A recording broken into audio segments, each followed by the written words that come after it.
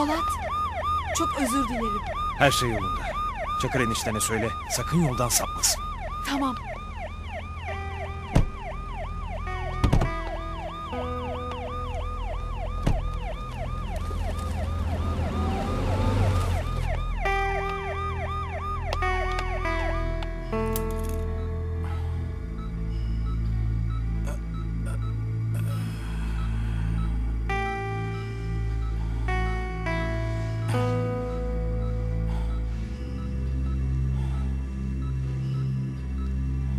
Askere. Askere.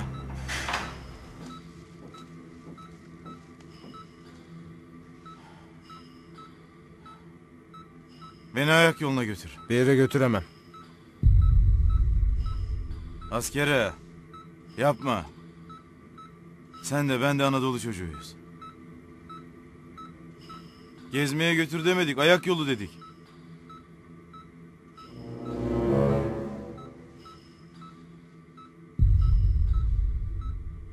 Ya büyük abdestle? Abi ayağını yanlış bir yere atmayasın. Hem kendini hem beni yakarsın. Eyvallah.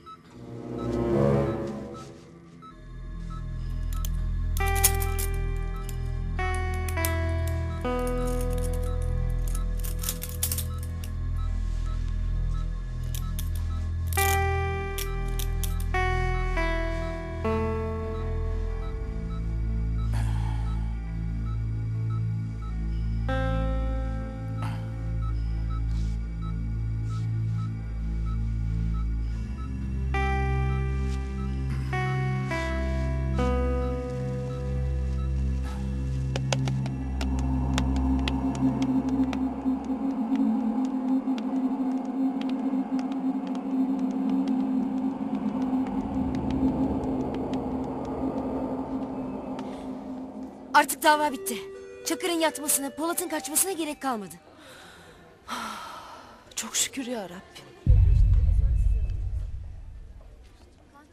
Neye takıldınız? Bir şey var ama nasıl söyleyeceğimi bilemiyorum. Nedir? Çakır kaçacak. Ne? İnfazı yanar 12 yıl içeriden çıkamaz. Nasıl kaçacak? Tuvaletten.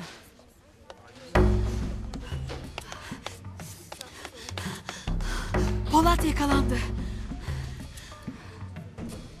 Savcı ile görüşmemiz lazım. Lüzumsuz yere hırpalamasınlar. Tamam sen savcıya git. Benim şu firarı engellemem lazım. Orhan abiyi bulun.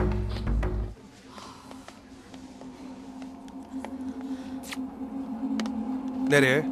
Diyaliz merkezinden geliyoruz. Süleyman Bey nerede? Lavaboya kadar gitti. Birazdan gelir. Böbrek hastasının tuvalette ne işi var? Tuvalet nerede? Şu tarafta.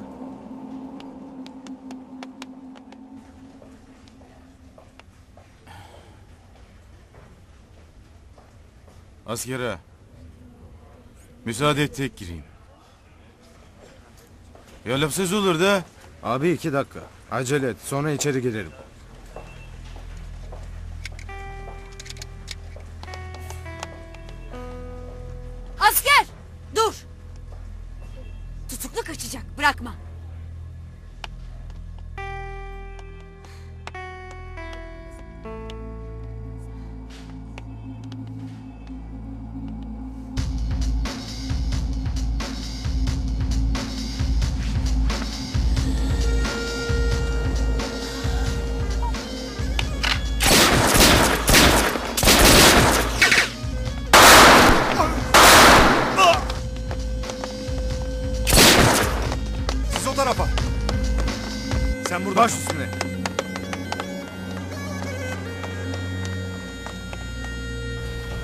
Hazır mı oğlum? Hazır abi. Güzel. Ya sen ne yaptın Elif? Seni cezaevinden çıkardım. Süleyman Bey, gidiyor muyuz? Firar edersen 12 yıl içeridesin. Beni dinlersen 12 saat sonra dışarıdasın. Orhan abi kalıyoruz. Buradalar komutanım.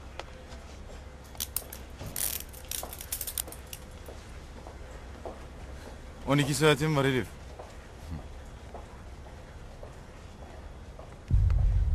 Kimsin sen? Aradığınız kişiyim. Biz aradığımızı bulduk. Sen ne arıyorsun? Bir parça huzur. Bak aslanım. Bir erkeklik yapar buraya düşersin. Kırk karılık yapar dışarı çıkamazsın. Şimdi erkek erkeğe konuşalım. Maksadın ne? Almanya'dan gelip burada her taşın altından çıkıyorsun. Savcı öldürtüp kamyon şoförleriyle suikast planlıyorsun. Bir de elini kolunu sallayıp ortalarda geziniyorsun. Söyle bakalım şimdi. Kimin için çalışıyorsun? Türkiye'de bu dediklerini yapacak adam var mı? Yoktu. Seni ithal ettik çok şükür.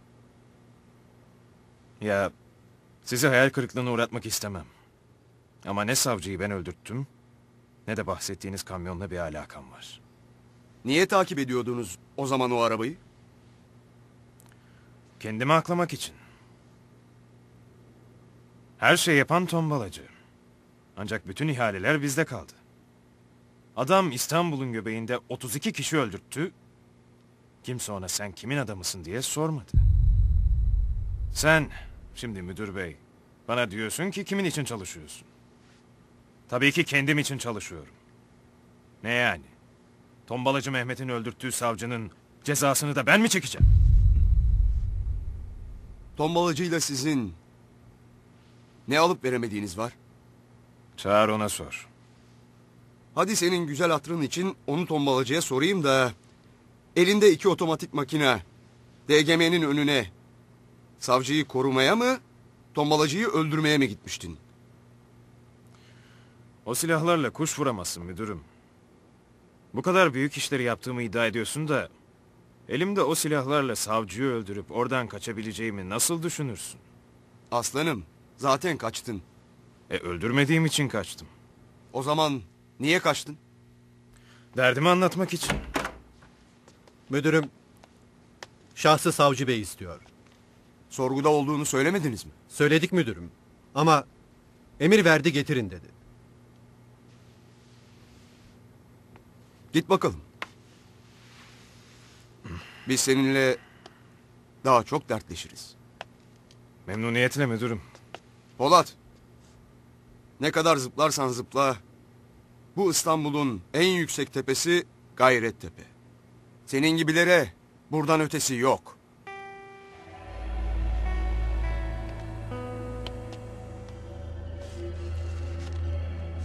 Tesadüfler artık sizden yana avukat hanım. Hastanede çatışmaya giren adamlar da tombalacı Mehmet'in adamları. Hala bizden yana olan bir tesadüf yok savcı bey. Müvekkilim hastanelik hale getiriliyor. Hastaneye nakledilmek istenmiyor. Hastanede canını kıl payı kurtarıyor ve hala tutuklu. Diğer müvekkilimse işlemediği bir suçtan ötürü sorgulanıyor.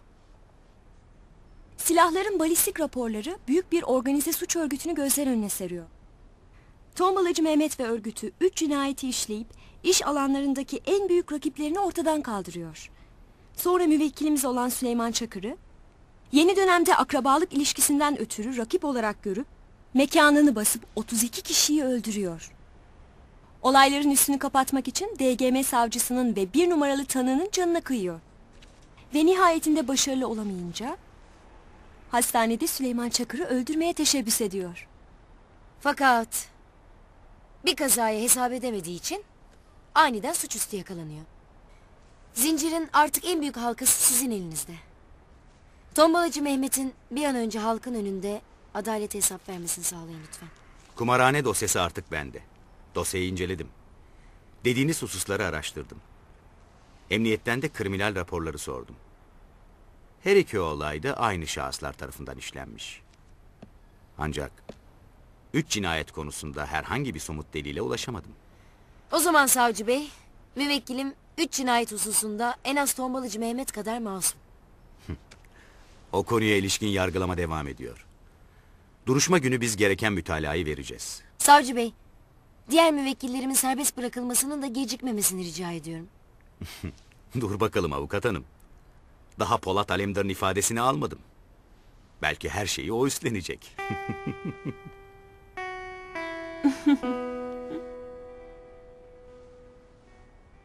Memati Baş'la Seyfi Yördem'in serbest bırakılması için cezaevi müdürüne talimat verdim.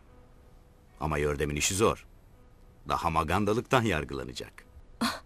Savcı bey, hiçbir şey zoruna gitmez de maganda demeniz ona büyük ceza.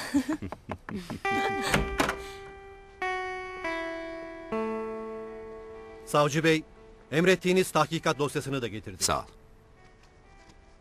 Kızım şimdi değil, sonra.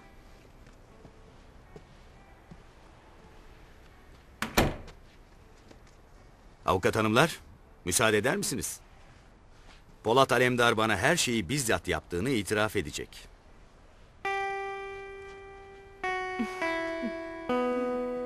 Sakın başını belaya sokacak bir şey söyleme. Her şey için teşekkür ederiz. İyi günler. Geçmiş olsun.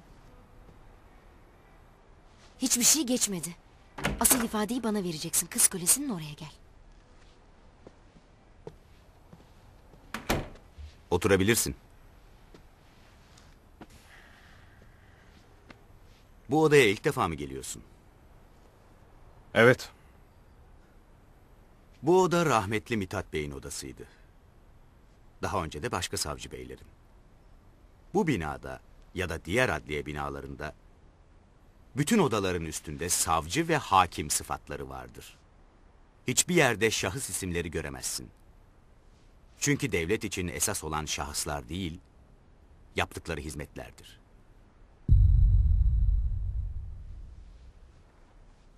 Rahmetli Mithat Bey'e verdiğin ifadeyi okudum. Türkiye'de yenisin. Benden sana tavsiye, devletin en titiz olduğu nokta, kendisine saldırıda bulunacakları bertaraf etmesidir. Sen DGM savcısına, ben seni şöyle öldürürüm, böyle öldürürüm diye ifade veriyorsun. Şunu unutma.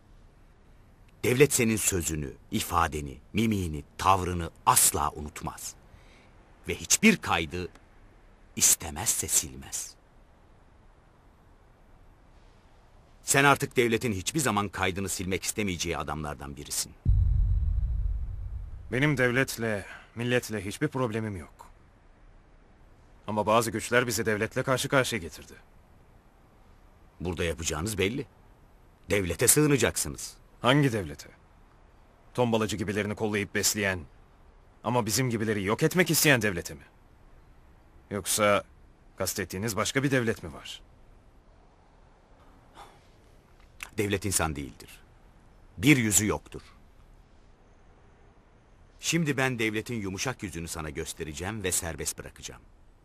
Ama bil ki her ne kadar deliller tombalacıyı da gösterse inan senin bir ömür yatmana kafi gelecek delili şu an elimdeki dosyanın satır aralarında bulurum. Eğer devlet isterse. Ben babasız büyüdüm.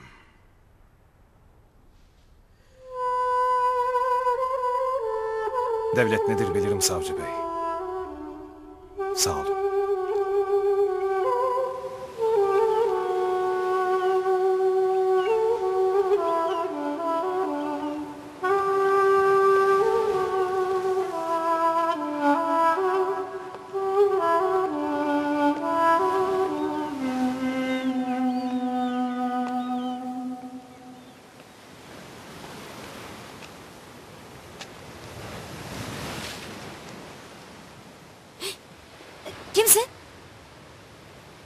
Olmamı istersin?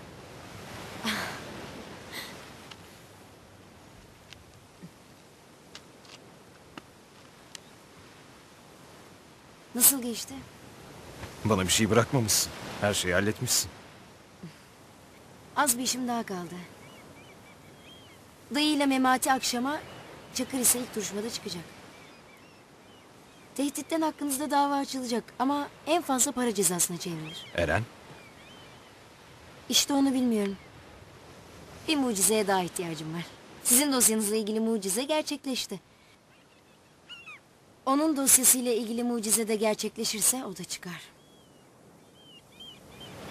Bu kötümserlik sana hiç yakışmıyor avukat hanım. Bu yersiz iyimserlik de sana hiç yakışmıyor. Tabii senin umrunda değil. Kendini kurtarmak için beni kolayca yaktın. Seni nasıl yakmışım? Beni nasıl öpersin ya? Başka şansım yoktu. Ne demek başka şansım yoktu? Polisleri gördüğün gibi kaçsaydın. Elif, oldu bir kere. Özür dilerim. Beni anlamıyorsun. Biliyorum. Seni zor durumda bıraktım. Ben kaçıp gittim, sen orada polislerle baş başa kaldın. Belki de bu yüzden hakaret işittin. İtibar kaybettin. Ama bir anlık refleksti. Gerçekten çok özür dilerim. Polat. Belki ben kendim sana anlatamadım. İçimdekileri o kadar sıcak yaşadım ki... ...sanki herkes bunları biliyor diye farz ettim. Ben... ...dudaklarını mühürlemiş... ...kalbini gömmüş... ...sevgilisiyle kavuşma anını mahşere bırakmış bir kadın. Ali benim sadece erkek arkadaşım, sözlüm, nişanlım, sevgilim değildi. O benim var olma sebebimdi. Ben onun ölümünü zor da olsa kabul ettim. Ama ama onun yokluğunu asla kabul etmedim. O benim için var. Burada.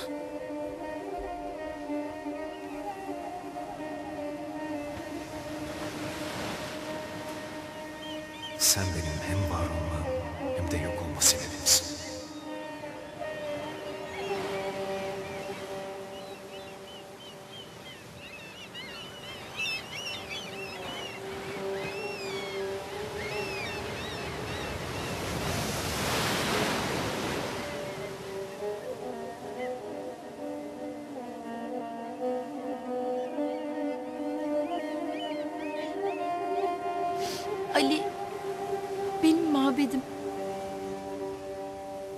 bahçem.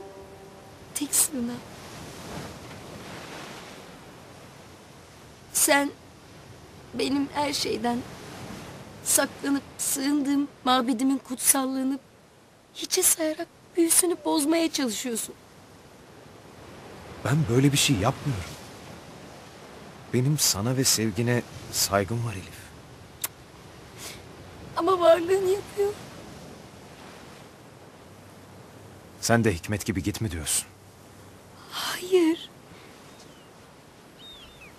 Hayır. Ben seni seviyorum. Hep yanımda olmanı istiyorum. Sadece... Sadece... Dokunma.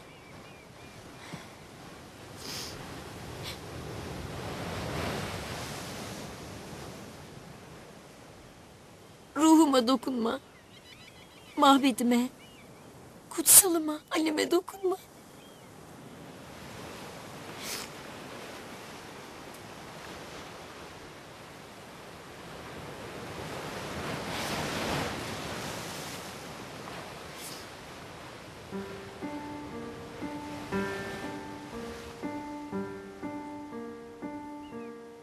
Sen benim sevgiyi bilmediğimi mi zannediyorsun? Sen benim aşkı tatmadığımı mı zannediyorsun? Sen benim mabedimin olmadığını mı zannediyorsun?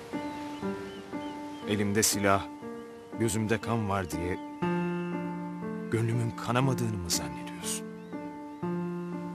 Ne olur, sadece dinle. Bana bakmadan, soru sormadan dinle.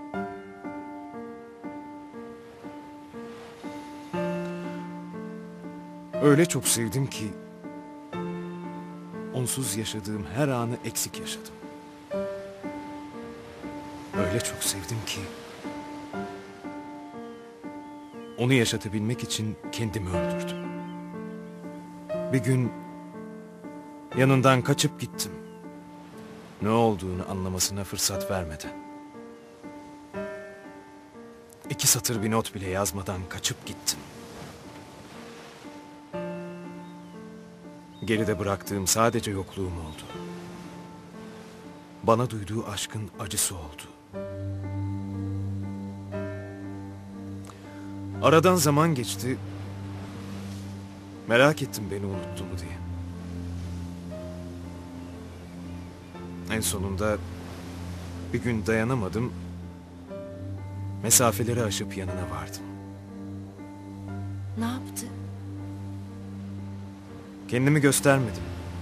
Yalnızca izledim. Ne gördün? Başı bir erkeğin omzunda beni ona anlattığını gördüm. Sen ne yaptın? Kıskandım. Ama yanındaki adamı değil. Anlattığı beni kıskandım. Sen deli misin? Sen akıllı mısın?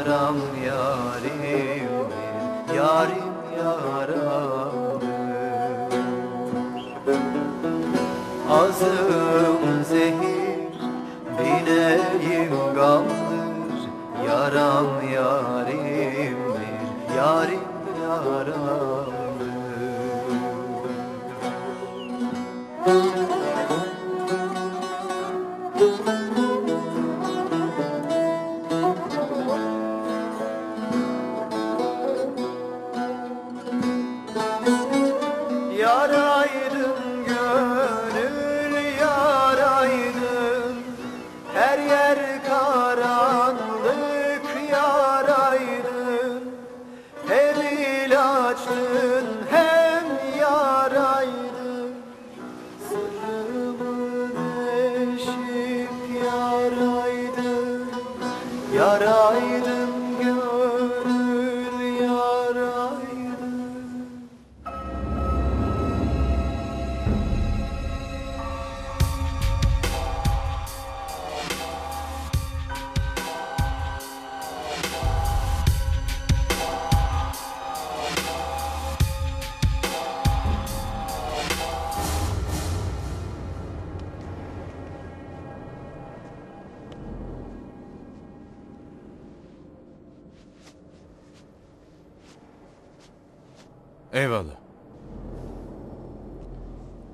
Sağ olasın Ermiş.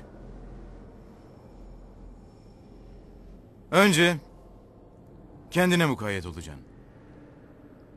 Sonra sırtını duvardan başkasına dayamayacaksın.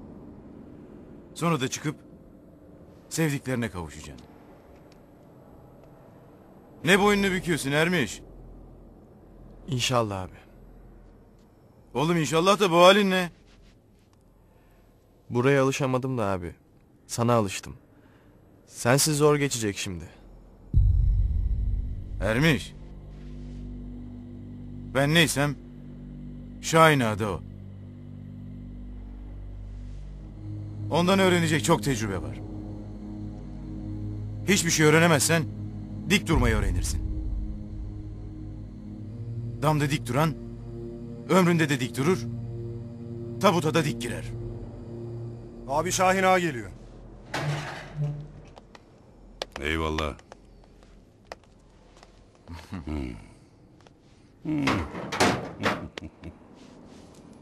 Ya biz sana helallik almaya gelecektik Şahin. Üstümüzde hakkın büyük. Estağfurullah. Han bizim çakırım. Yolcuyu karşılamak da bize düşer, uğurlamak da. Çıkıyorum diye sitem mi var Şahin?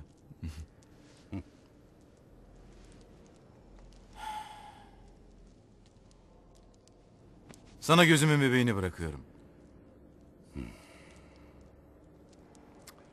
Emanetim başım gözüm üstüne. Zaten yeğenim kendine mukayyettir de... ...belki Şahin ağabeyinden üç beş kelam nasibi vardır. Eyvallah. Bir ana kuzusu daha kurt oldu Şahin ağa, ha? Kurt yatağında yatan kurt, aslan ininde yatan aslan, çakal otağında gezen çakal olur. Çakırım. Eyvallah. Hakkını helal et. Yattığın yatağın hakkını ver. Aslanım.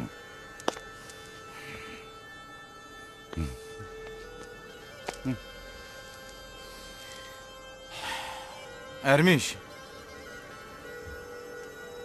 Uğurlarken sevineceksin ki... ...seni de uğurlarken sevinsinler aslanım.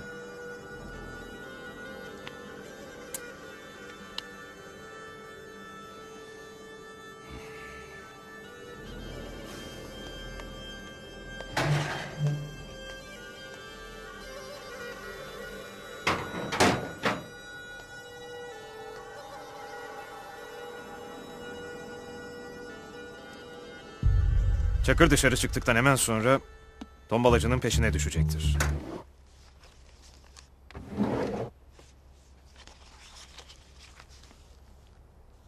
Bir çizgiyi biz çektik. Bir çizgiyi de baron çekerse konseyden biri düştü. Peki gidenin yerine kim gelecek? Kim bilir?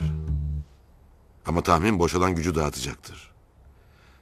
Bak kaç zamandır söyleyeceğim. Kargaşaya geliyor.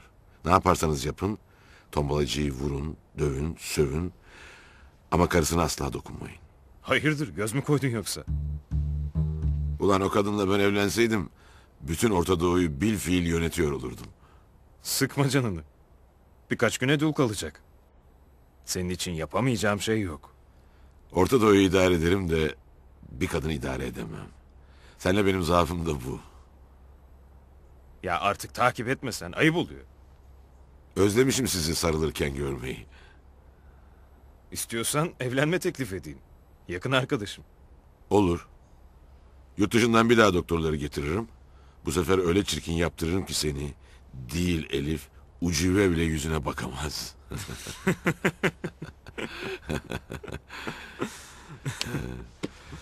Elif büyük iş başardı. Evet. Onun ödülü Hüsreva'nın yanında. Kim? Erdal. Ama bir süre dokunamayacaksın. Çünkü Hüsrev büyük işe giriyor. Ve babasından dolayı bu ite yaptırıyor bu işi. Erdal ortaya çıkmadıkça Eren dışarı çıkamayacak. Eren dışarı çıkmadıkça Elif bizim içimizde kalacak. Bir yol bulunacak.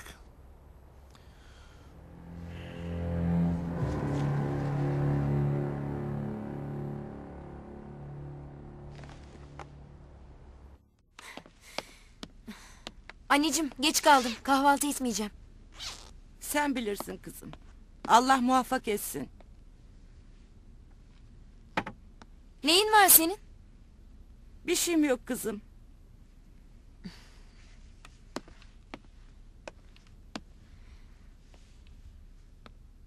Anneciğim. Bak. Kimleri ipten aldık. Elini de kurtaracağız. Asma güzel yüzünü. Asmayayım diyorum da kızım. Dayanamıyorum. Ben bilmiyor muyum annemi? Kızım evde kaldı. Oğlum hapiste kaldı diye üzülüyorsun. Bütün derdin torun sevmek değil mi? Sadece bu yüzden bile oğlunu çıkartırım. Sen hiç sıkma canını. Allah mutluluğunuzu göstersin. Başka bir şey istemem. Ama yok öyle evde kalmak. Eren'in işini bitireyim. Ondan sonra sıra sana gelecek. Hayırdır anne? İstemeye gelen mi var? Senin biraz yüzün gülsün. Daha ne diplomatlar var. Ben büyüyünce mafya ile evleneceğim anne. Hadi dua et. Ne dua edeceğim? Allah yazdıysa bozsun. Mahkeme için ya.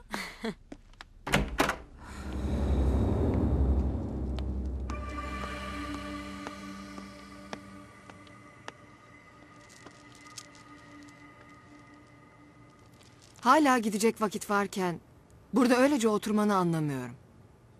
Ömrüm boyunca kaçamam Eser. Türkler doğru zamanda çekilmenin ne demek olduğunu hiç öğrenemeyecekler mi? Dün Çakır uçurumun ucundaydı, bugün sen. Yarın yine o olur. Siz de kaça kaça nereye kadar kaçtınız Ester? Kaçarak kazanmaktansa biz en azından savaşarak kaybetmeyi tercih ediyoruz. Ayrıca anlamadığın şu. Çakır küçücük bir çakıl taşı. Beni nasıl uçuruma sürükleyebilir ki? Sen çığ altında kalmak üzeresin. Sen öyle bir zafer çığlığı attın ki küçücük bir çakıl taşı yerinden oynadı. Kar toplayarak büyüdü, büyüdü, büyüdü. Şimdi hepimizi yutmak üzere. Ben buna müsaade etmeyeceğim. Gideceğim. Madem kalmakta kararlısın, tavsiyem bu sefer öfkeni değil, aklını kullan.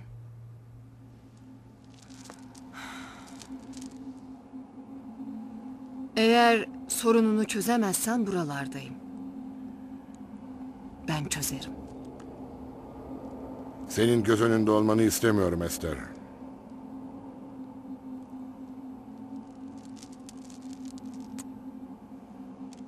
Dur bakalım. Mahkemeden ne çıkacak? Çakır çıkacaksa gelecektir. Yok, ben çıkarsam senle gelirim. Bu savcı hiç iyi bir şey yapmadı Memati. Niye dayı? Niye olacak? Gıyabi tutuklama çıkardı. E şimdi bu ayı ininden çıkar mı? Koca tombalacı iki tane 657'ye tabi gariban polise mi yakalansın? Dayı bence iyi oldu. Neredeyse o malikanesinden daha insaflı bir yerdir. Biz oraya nasıl girecektik? Yeğenim hiç değilse ini belliydi. Şimdi ara ki bulasın. Kime sordurduysan bir çıt yok. Dayı sen yine abdest mi aldın? Adliyeye abdestsiz mi gidilirmiş yeğenim? Memati kalıbına bir şey demiyorum. Sana gusül abdesti ihtiza eder. Yüzünün feri gitmiş Memati. Günahımı alma dayı. O kadar günahı ben ne yapacağım? Yürü hadi gidelim. Şimdi babam geleceğine göre ben okula gidebilir miyim? Ben okula okula gitmem. Babam nereye giderse oraya gideceğim. Çok özledim. Ben özlemedim mi diyorum. Ne zamandır okula gitmiyoruz. Senin umrunda değil ama benim karnemin hepsinin beş olması lazım. Babama söz verdim. Dedem o işi halleder. Değil mi dede? Hangi işi? Sen şimdi okula gelip öğretmenlerimize bö ettin mi hepsi korkusundan beş verir. Oğlum sen bu yaşta böylesin. Büyüyünce ne olacaksın? Baba olacağım. Dede kardeşimi nasıl özendirdiğinizin farkında mısınız? Neye özeniyormuşum? Sen anne olmayacak mısın? Diyorum ki... Babanız çıktıktan sonra hep birlikte yaşasak. Ben size çok kötü alıştım. Babam kabul etmez ama özlediğiniz zaman arada bir bizi görmeye gelirsiniz. Dede sen niye bizimle yaşamıyorsun? Çırıto, seninle yaşanır mı? Bizi bu yaştan sonra tetikçi yaptın. Bir de şoför yapıp okula bıraktırırsın. Babamın duruşması başlayacak. Ben televizyona bakayım. Ben de ben de.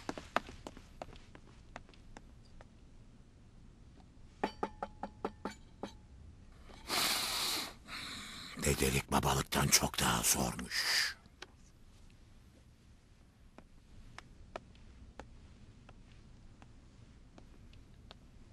Abla. Olmazsa siz bu gece güzel bir otele gidersiniz. Ben çocuklarla ilgilenirim. Hı? Yarından sonra da eve geçersiniz. Geçeriz. Abla, kaç ay oldu dördünüz bir arada kalmayalı? Meral, enişten içeriden çıkıyor. Phuket adalarından dönmüyor. Ne yapacağız baş başa kalıp? Aslında bir tatile mi çıksanız? Eğer isterseniz ben organize ederim. İkinize de iyi gelir. Meral, ben bu gece yüzünü gördüm gördüm. Ondan sonra ara ki bulasın. Senin yerinde olsam kapının önüne çıkarmam.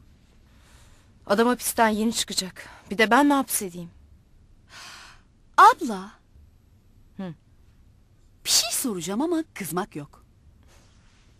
Buldun ya yumuşak halimi sor bakalım. Aranız nasıl? Yani Terbiyesiz deli. ya öf.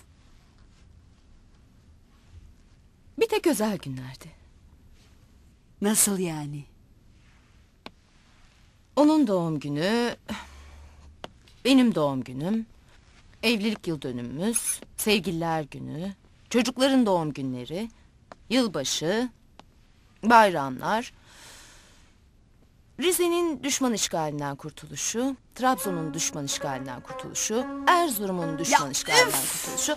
Abla ya. hadi işine bak. Aşağı in televizyonun başına geç hadi. Oldu.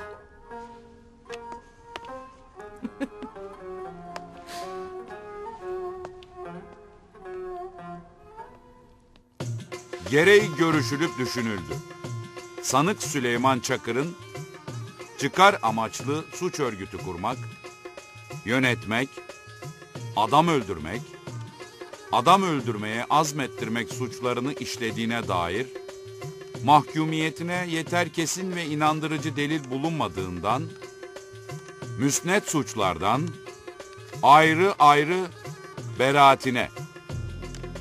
Başka suçtan tutuklu ve hükümlü değilse derhal salı verilmesi için Cumhuriyet Savcılığına müzekkere yazılmasına, gayri yasal kumarhane işletmek, suçuna ilişkin dosyanın tefrik edilerek görevli ve yetkili mahkemeye gönderilmesine, isnat edilen eylemlere ilişkin olarak Mehmet Çolak hakkında Cumhuriyet Başsavcılığına suç duyurusunda bulunulmasına, oy birliğiyle verilen karar, sanık ve vekilinin yüzüne karşı, iddia makamında DGM savcısı Akif Bayhan'ın huzuru ile yasa yolları açık olmak üzere okunup usulen anlatıldı.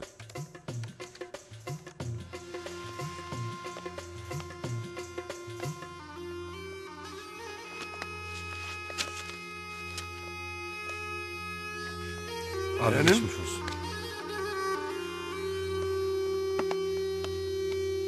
Geçmiş olsun. Tebrikler. Geçmiş olsun.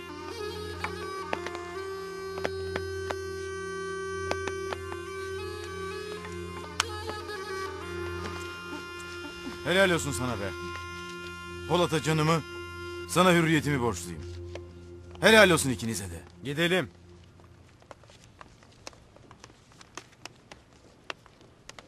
Akşama kimseye söz vermeyin ha. İcraata gideceğiz.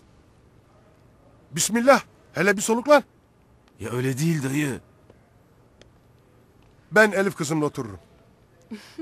Ya dayı durur durur kızın yanında bir magandalık yaparsın. Canım dayının artık nasıl olsa silahı yok. Bir şey olmaz. Savcı tetiği kırılmış silahları geri vermedi mi? Dayıya iade ederdik. Hadi güzeller. Onu bırakın ben alın. Şiştim. yürü yürü hadi. Birleşmiş Milletler Güvenlik Konseyi yakında bir raporu karara bağlayacak. Bu rapor bizi yakından ilgilendiriyor. Afganistan Savaşı'ndan sonra Kabil ve çevresindeki tarım alanlarında Hint kineviri ve haşhaş ekiminde patlama yaşanıyormuş.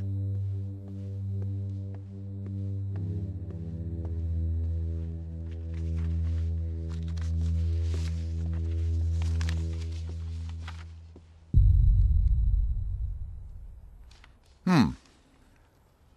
Savaş sonrası eroin fiyatlarının çok artacağı beklentisi vardı. Ama piyasalarda tam tersi oldu. Çünkü aşırı üretim fiyatları aşağı çekiyor. Fiyatlardaki düşüş bizi fazla ilgilendirmiyor. Benim yaptığım mallar dünyada yapılan malların en iyisi.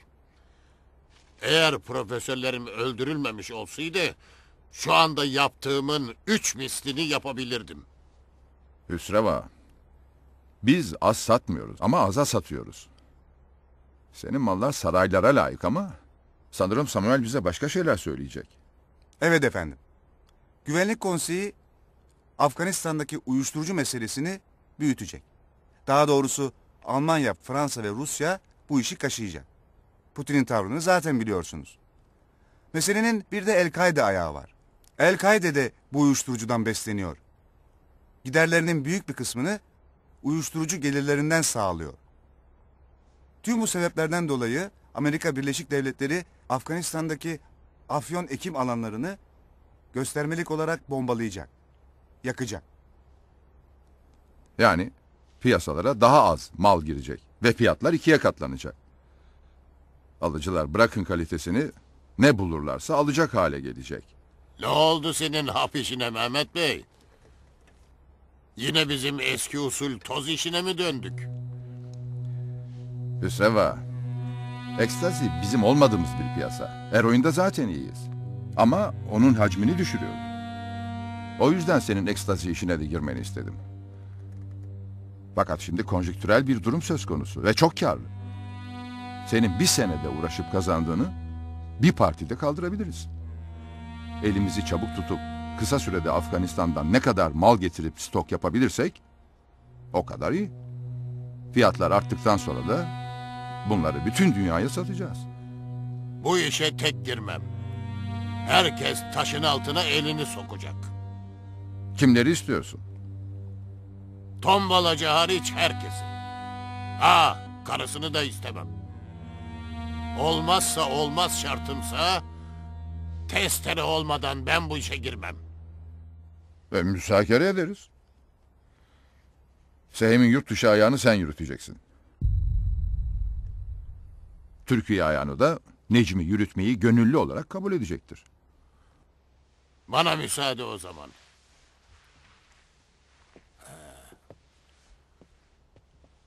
Şimdiden hayırlı uğurlu olsun.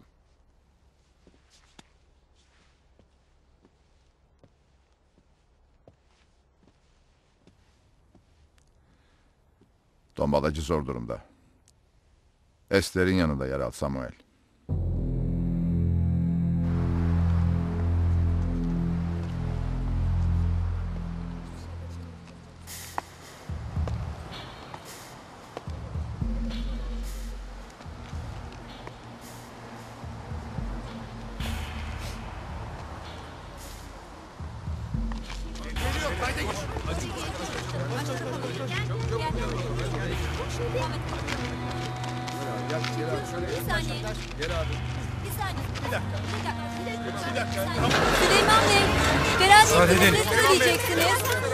Geç de olsa tecelli etti.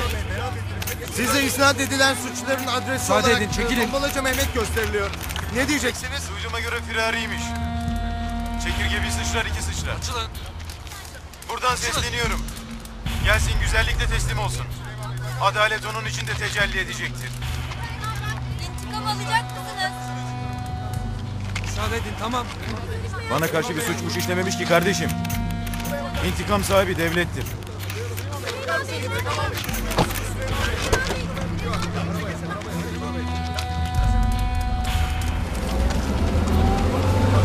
Evet sayın seyirciler. Süleyman Çakır 6 ay sonra serbest. Yeraltı dünyasına yakın çevreler Süleyman Çakır'ın serbest kalmasıyla mafya içinde büyük bir hesaplaşmanın yaşanacağını ifade ediyorlar. Anlaşılan önümüzdeki günlerde İstanbul'da sıcak gelişmeler bekliyor. Şimdi haber merkezine bağlanıyoruz. Ulan pilav nohutu İMC'de satsaydın türkücü olurdun. Çok çok da pavyona çıkardın. Benim sayemde televizyona çıkıyorsun ya. Abi bir şey yapacak mıyız? Biz yapmayacağız. Onlar yapacak. Ayaklarıyla bize gelecekler. Burada olduğumuzu duysunlar yeter. Emredersin abi. Onlar beni ateşe attı. Ben de onlara cehennemi yaşatacağım.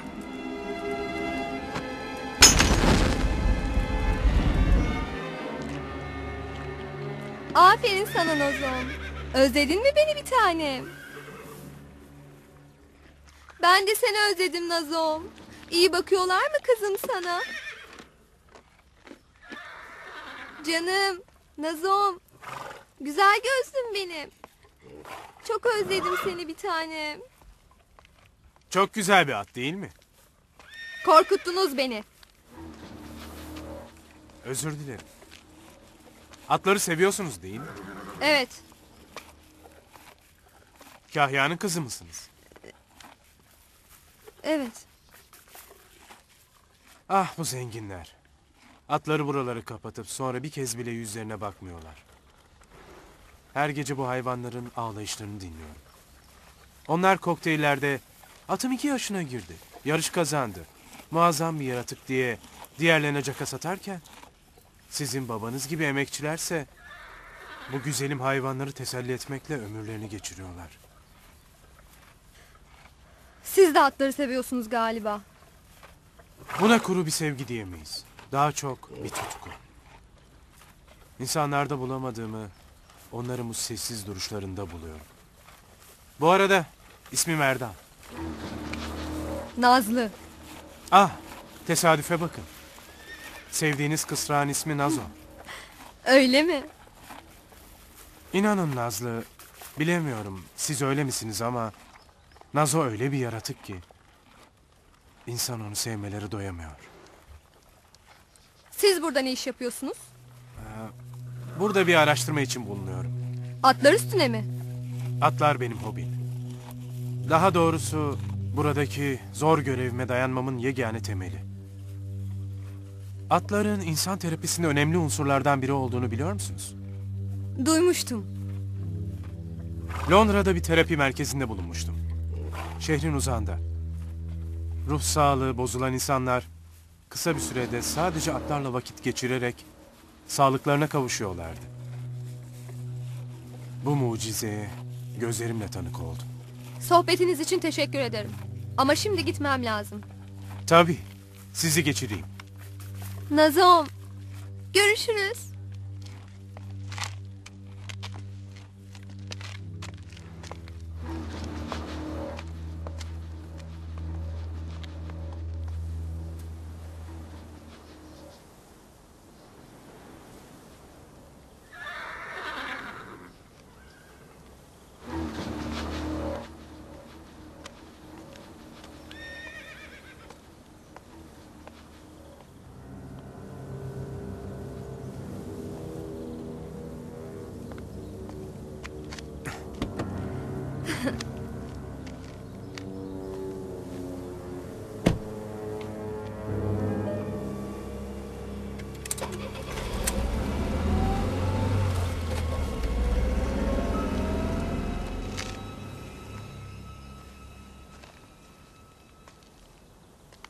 Kime salıyorsun lan it? Nazlı'ya baba. He?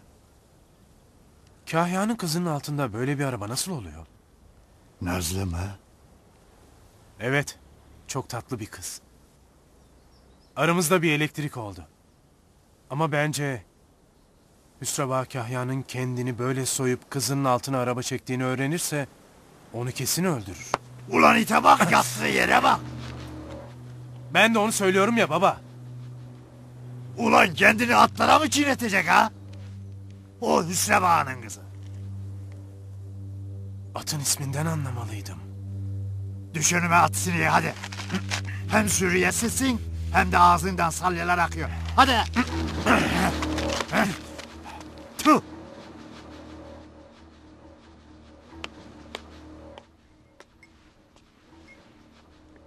Bizim yüzümüzden hiç olmayacak şeyler başınıza geldi.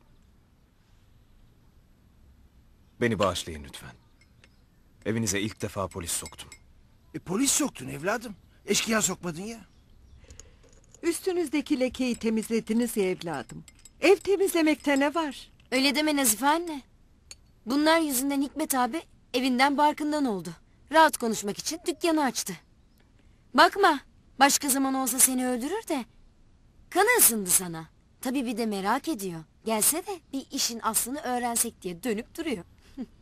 Ben şimdi veririm ona gerekli gıdayı. Gözünü seveyim evladım. Çok şişirme. İndirmesi zor oluyor. Bu hikmet çocukluğundan beri böyledir Polat evladım. Alim neler çekti bunun yüzünden. Bir gün akşam hep birlikte yemeğe gelin de sana Hikmet'le Ali'nin mesellerini anlatayım. Çok isterim. Ömer baba. Bakma burada kuzu gibi durduğuna. Polat'ta da hikaye çok. Hikmet abiyle ikisi ittifak yaparsa derin derin düşünürsün artık. Ne yapalım kızım? Başa gelen çekilir. Nazife anneni davet etmiş bulundu bir kere. Efendim, yukarıdakiler bastırıyor. Gürcistan'daki ayaklanmalar için teşekkür ediyorlar. Ama Acaristan'ın Rusya ile sıkı fıkı olmasından çok rahatsızlar. Biliyorum. Ossetya ve Abhazya da Ruslara yakınlaşmıştı. Bunlar da onlara katılmak istiyor. Bu Putin'e biz deli diyoruz ama onlar büyük adam, daha iyi insan dedikleri deli Petro'ya benzetiyorlar. Rusya'yı yine eski günlerine döndürecek. Soğuk Savaş'ın bitiminin ardından savaş Balkanlarda başladı, Orta Doğu'ya sıçradı. Yakında Kafkaslar daha da kana bulanacak.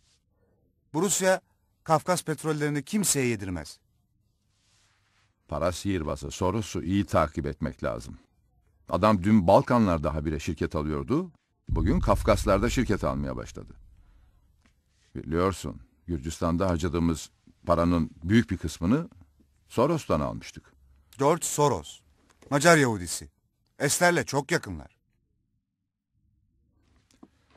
Bu tombalacı bütün dengelerimi alt üst etti.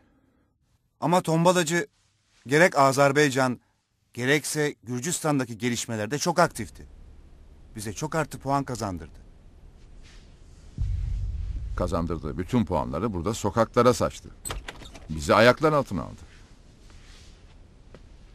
Dışarıdaki dengeleri göz ardı edemeyiz Mehmet Bey. Yine de karar sizin. Sağ ol Samuel. Teşekkür ederim. Sağ ol.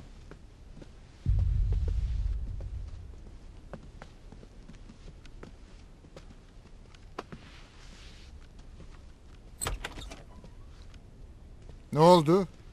Samuel tombalacı bize lazım mı diyor. Son kertede evet. Ancak Hüsreva SM'de tombalacı varsa ben yokum diyor. İkisi de olmasın biz yapalım. Hüsreva'nın büyük hizmetleri oldu. Ama ona bu kadar ihtiyacım ne olduğu bir durum hiç olmamıştı. Büyük para kazanacağız. Necmi sen Sehem'in başındasın. Çakır tombalacının peşinde. Tombalacı Lazya'nın peşinde. Lazya hepimizin peşinde. Müttefik Hüseva Necmi'nin peşinde. Irak konseyinde bile bu kadar çatışma yok.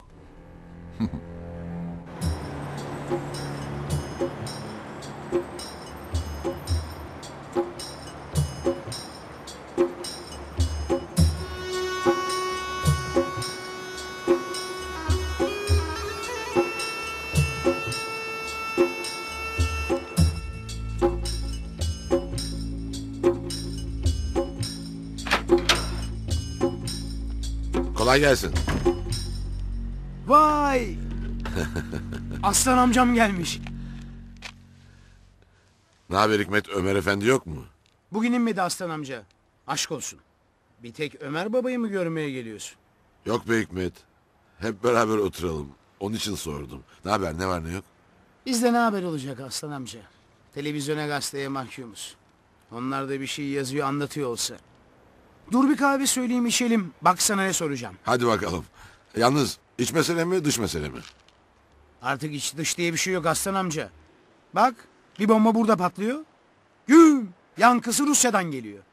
Adamlara bak. Neredeyse Rus meclisini havaya uçuracaklardı. Ne yapsınlar? Çeçenlerin elini kolunu bağladılar. Onlara yapacak bir şey bırakmadılar. Yapma aslan amca. Bana gazete ağzıyla konuşma. Koçum. Bize iki az şekerli kahve. Köpüğü bol olsun köpürmeyeyim. Çeçenler değilse kimmiş Hikmet? Aslan amca. Bizim buradaki bombaların üstünden iki hafta geçti geçmedi. Dumanın önünü Levent'e çevirdiler. Biraz global düşünmek lazım. Irak'ta savaştan önceki günlük petrol üretimi 3,5 milyon varildi. Bunu kim çıkarıyordu? Fransız, Rus ve Çin şirketleri. 1972'den beri ABD ve İngiliz şirketleri Irak'ta avuçlarını yalıyorlardı. Sonunda ne oldu? Geldiler, Irak petrolünün üstüne kondular. Soruyorum sana. Şimdi bu savaşta Saddam mı yenildi yoksa Rusya, Çin, Fransa mı yenik düştü? Senin tabloya göre Fransa, Çin, Rusya. Peki bu petrolü ağırlıkla kim alıyordu? Kim? Japonya. Dünyanın en zengin ikinci ekonomisi. Yani sen Irak'a el koyarak Japon ekonomisini de avuçlarının içine almış oluyorsun. İyi de Hikmet. Japonya için ne fark eder? Oradan almaz, öbüründen alır. Çok hasta okuma sen aslan amca. Körelmişsin. Birincisi bugün sen dünyanın herhangi bir yerinde bir ajanstan Irak'tan kaç litre petrol çıkıyor? Kime satılıyor duyuyor musun? Yok. Amerika Irak'a girdikten sonra bu petrolün akıbeti ne oldu? Belli değil. İkincisi Amerika Afganistan'a Taliban'ı El-Kaide'yi yok etmek için mi girdi zannediyorsun? Kazak petrollerini, Türkmen doğalgazını boru hattıyla Hint okyanusuna indirip gemilerle bütün uzak doğuya pazarlamak ve onları kontrol altında tutmak için. Ee, bombaların pimini birbirine nasıl bağladın Hikmet sen onu söyle. Şöyle bağladım aslan amca. İstanbul'daki bombalar patlayınca Moskova'da da cevap olarak bombalar patlıyor. İstanbul'daki bombaların fitillerini kim ateşlediyse onların düşmanları da Moskova'dakilerin pimini çekiyor. Birini El-Kaide, diğerini Karadullar örgütü yaptığı üzerine büyük kanat var Hikmet. Tabi tabi. Batıda patlayınca El-Kaide, doğuda patlayınca Çeşenler. Oh, rahat rahat uyuyalım.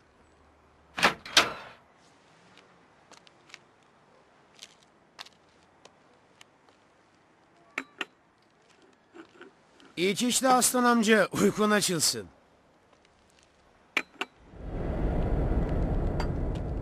Sağ ol. Baba dedeme kaç kere söyledik bizi babamızın yanına götür diye hiç getirmedi. Bir de dedeni şikayet mi ediyorsun lan? Eşkıya. E, iyi yapmış. Seni oradan bırakmazlardı ki oğlum. Okula gitmekten iyidir. Baba bu oğlum sen kullanarak hiç ders çalışmadı. Okul umurunda bile olmadı.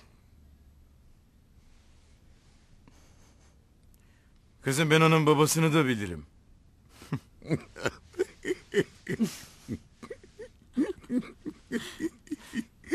Bunlara nasıl dayandınız bu kadar zaman?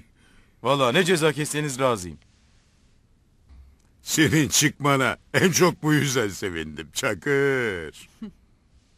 Senin kızın evime el koydu. Oğlun da şirketlerime. Beni ölmeden mezara soktular. Allah gecinden versin. Enişte. Pusat tutturdu Orhan abiyi de götüreceğiz diye. Eşkıya. Deden şirketlerini verir. Orhan abiyi vermez oğlum. Sırtıma silah dayadı Süleyman Bey. Terbiyesiz.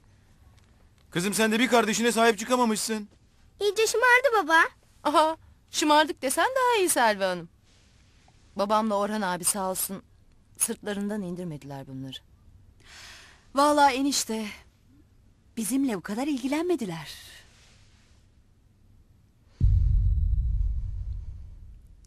Kıyafetlerin hazır. Müsaade var mı baba? Evimize geçebilir miyiz? Tabii geçeceksiniz. Ama bu gece torunlarım benimle kalsın. Alışayım yokluklarına. Ev bir anda boşalmasın. Hay hay. Hadi bakalım.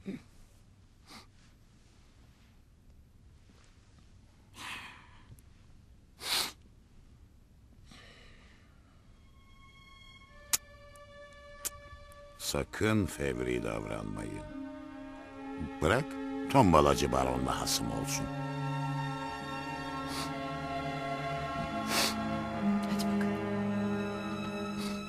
Geçin siz.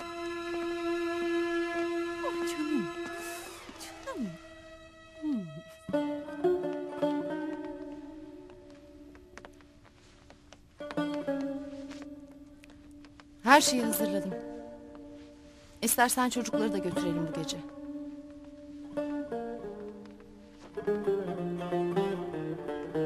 Bir sarılmak yok mu? Hoş geldin.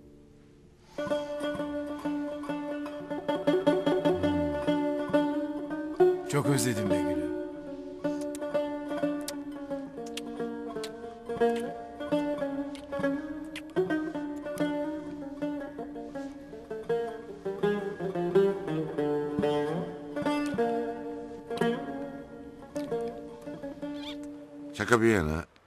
senin bu satır aralarında çıkardıklarını o saydığın ülkelerin tamamı stratejik olarak satranç tahtasının üstünde tek tek hamle hamle hesaplıyor. Bizim ülkemiz bu satranç tahtasında vezir mi, şah mı, piyon mu?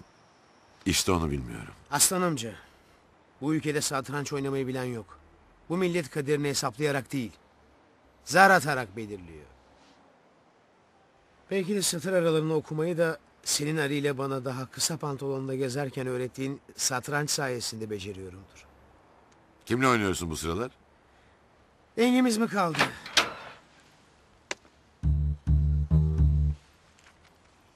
Rahatsız etmiyor. Gel birader gel. Yabancı yok.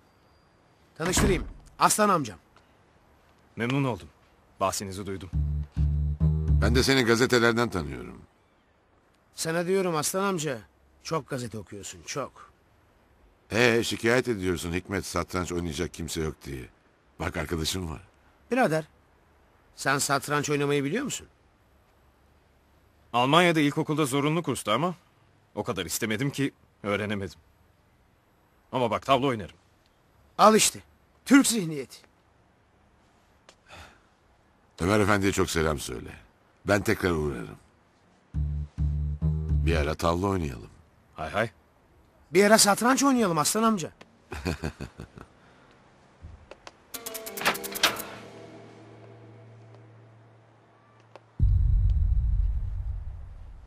Kitapçı olan Aslan Bey miydi bu?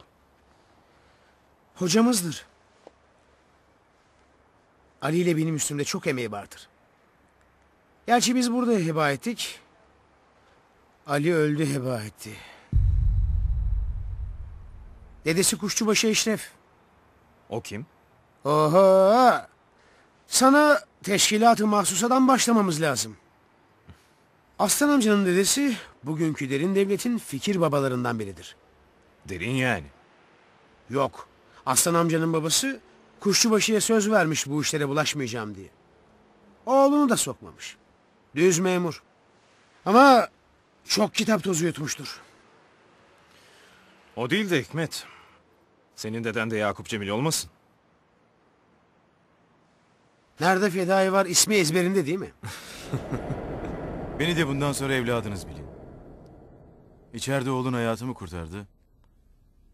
Dışarıda kızın özgürlüğümü kurtardı. Öyle iki aslan doğurmuşsun ki... ...ne sana ne yavrularına borcumu ödeyemem.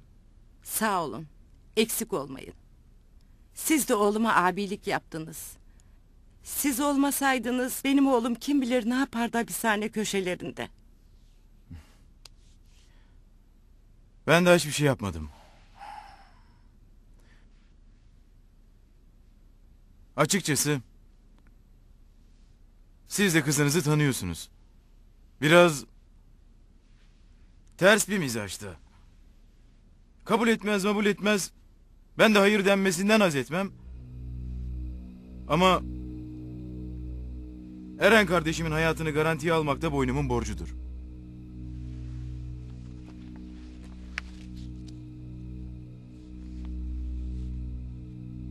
Çıktığında temiz güzel bir iş kurması için. Küçük bir sermaye. Abisinden çam sakızı çoban armağanı bir hediye. Ama ricam kızınız duymasın. Sağ olun ne gerek vardı?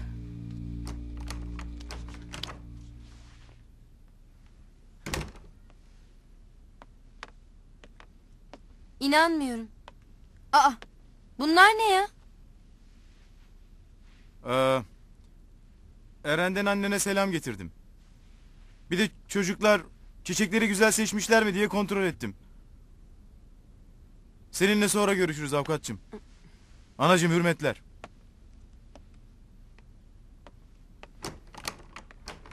Hoş geldin kızım. Anne, o sakladığın botanik bahçesinin tapusu mu? Ne saklaması kızım ya? Ver. Allah aşkına kızım karışma. Bak ant verdim Celle Şanihu. Yüz bin lira mı sattın oğlun anne?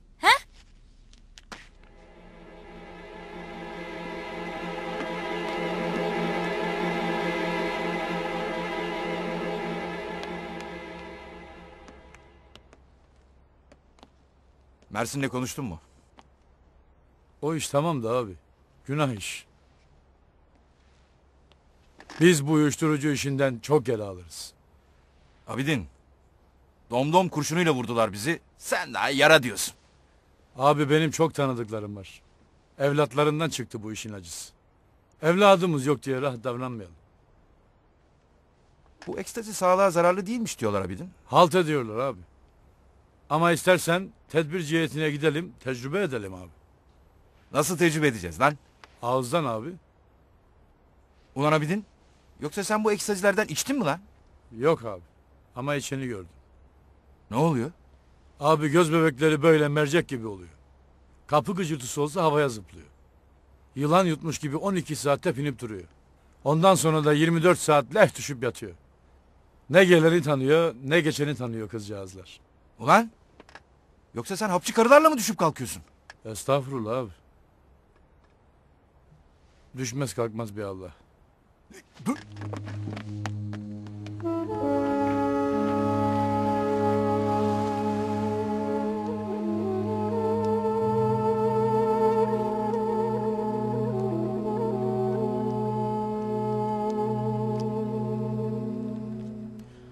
Biraz bekleyelim. Bu gelen bilgi tuzak olabilir. Tuzak muzak Can Polat. Biraz bekleyelim diyorsun. Altı ayın üstüne gün koyamam. Ama bizim gelişimizi bekliyor. Daha kurban bile kesmedik çıkışına yeğenim. Nereye gidiyoruz? O sığırı keser kesmez alnına kanını süreceğim Seyfo dayı. Sen sıkma canını. O kurban mundar olur.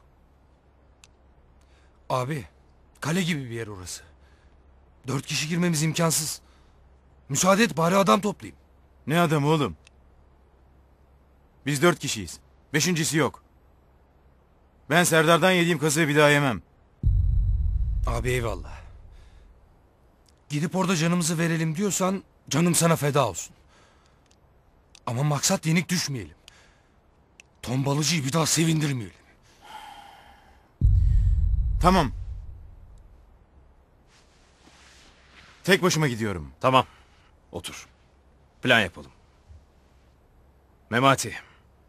Adam başı iki tane otomatik silah lazım. Bir tane yalıtımlı tel makası lazım. Bulabilirsen patlatacağımız ne varsa getir. Gözüm. Sakın kamyonet mamyonet kapalı kasa binek bulma. Bir de derdimizi terörist diye anlatmayalım.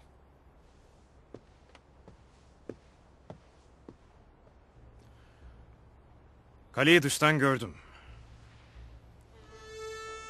İçeri girmek problem değil.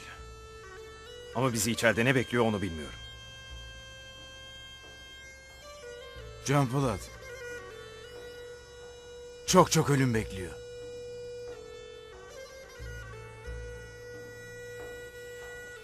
Ben bir abdest tazeleyip geleyim. Dayı. Kullanmayınca prostat oluyor ha. Çok kullanınca da yalama oluyor.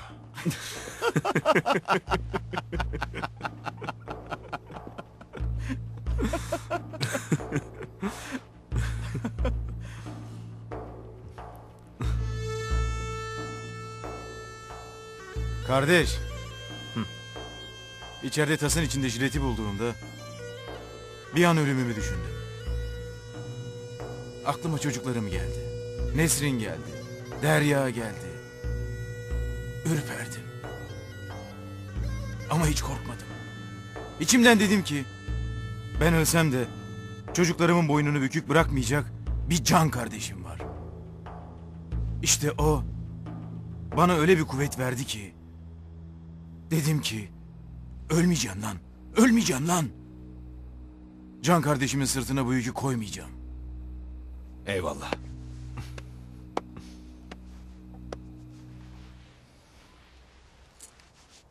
Bak biraz daha çıkmasaydın koltuğuna otururdum o kadar söylüyorum. Artık o koltuk ikimize de dar gelir. Ama ton balacının koltuğuna ikimiz de sığarız.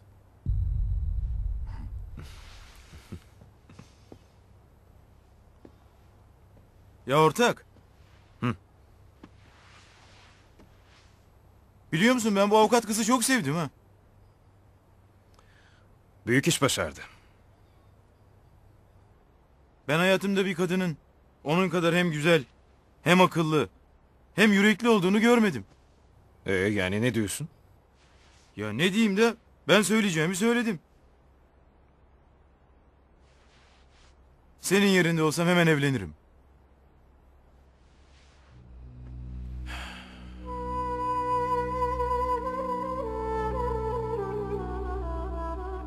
Evliliğin tahliyesi yok Çakır.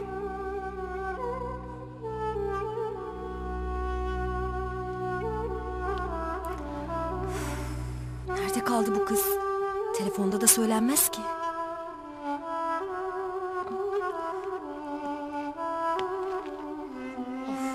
Bu ne görgüsüzlük ya? Canan evde böyle biliyor musun? Evde miydin canım? Merak ettim seni. Sinirlerim alt üst oldu. Çakır Eren'in adına bankaya hesap açtırmış. Anneme getirmiş gizlice veriyordu. Teşekkür etmek istiyor herhalde. Peki bir tahmin et kaç para? Ben ne bileyim ama çoktur. Yüz milyar Canan yüz milyar.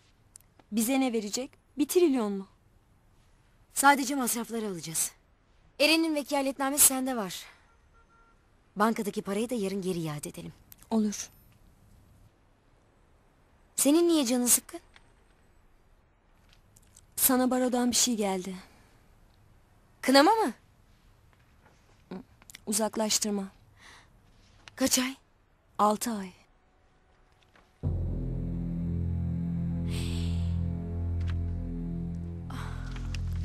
Daha kesinleşmiş karar değil. İtiraz hakkımızı kullanacağız. Beni bitirdiler Canan. Artık sadece mafya avukatı olabilirim.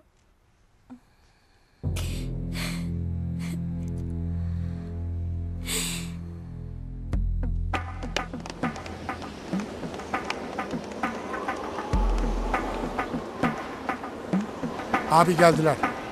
İlk hamle onlardan gelecek. Hepsi içeri girmeden kimse silahına davranmasın. Emredersin abi.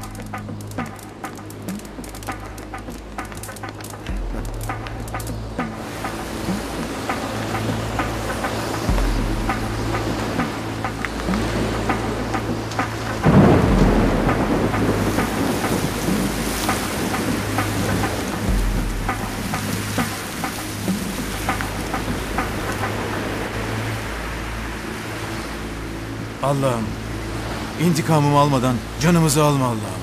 Subhanallah. Ya Bismillah.